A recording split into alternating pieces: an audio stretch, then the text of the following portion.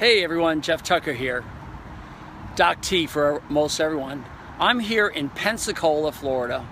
And Pensacola is kind of cool because I'm still in my home state and yet I'm in the central time zone. It's such a huge state with horses everywhere. And I've, I've been able to come up the coast through Gainesville out to Tallahassee and then all the way through Panama City and now I'm going to be in Pensacola for a couple of days. Um, and something neat happened this morning. I was with a client whose job it is to teach our men and women how to fly the F-15 fighter jet. That's quite a responsibility. And we started talking about school and educating students and uh, what we, we like about it. And the thing we like about it the most is we get to teach what we know and to teach it really, really well. Uh, and then at some point, our goal is to teach these students to teach others.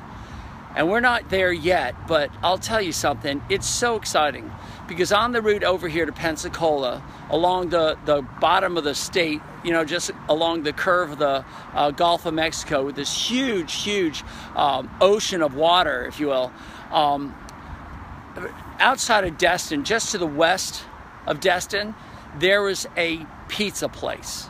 And I know the pizza place doesn't mean much to anybody, it's just a small place, but it was very important to us.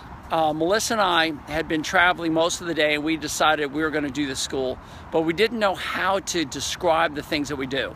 And describing them was kind of hard. You know, you place the blade here in the mouth and you do this and that.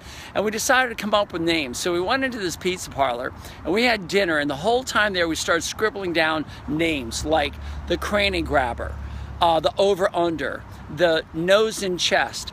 And we came up with these catchy little names to describe the different techniques. And we probably have 20 of them that we teach our students how to do dentistry without needing the drugs and getting in there and effectively getting every tooth uh, taken care of.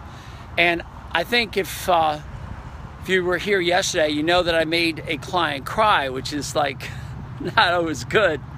But for me, it was excellent because um, she was in disbelief. She said, um, as I'm working on her big thoroughbred horse who is uh, flighty and scared and um, what I call a sanguine personality, this horse decided to say, you know what, this guy's doing something good for me, and I'm going to, I'm just going to stand here and let him do what I'm, what he's doing.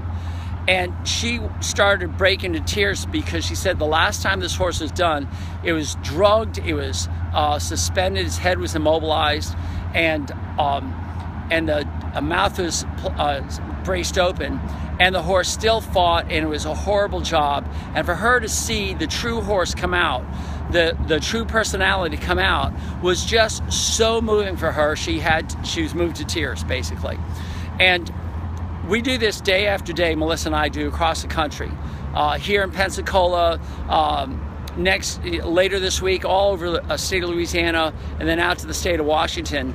Uh, we're going to be demonstrating this and and to new clients everywhere, showing them how beneficial horsemanship dentistry is.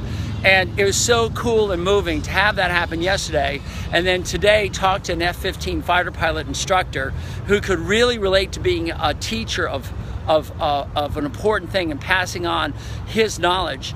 And then to pass the pizza place on the way out here, it just made me come to want to tell everybody else about it. So um, here's the thing. Um, horsemanship dentistry is so cool, and we really want to help others understand just how cool it is. So feel free to share this and pass it on, but I just want to get this out here. And isn't that lovely scenery? I mean, that's just so cool.